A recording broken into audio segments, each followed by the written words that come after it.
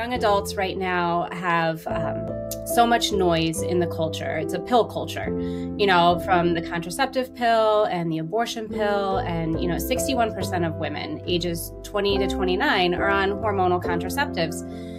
And, and so many people have come to us and said, if I had only known about NFP earlier, or, you know, if someone had talked about this sooner.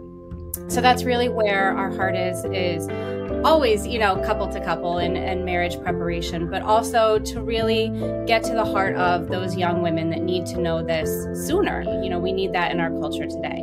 And so through some of our new programs, through our app, through um, our classes, we want to share that information. We want to reach a new generation and start turning that tide. Um, so donations through this campaign are going to help us make that ripple go bigger, um, you know, and, and, cast the net a little wider so that we can talk to women and young women and young adults um, where they are and get them that information that they need.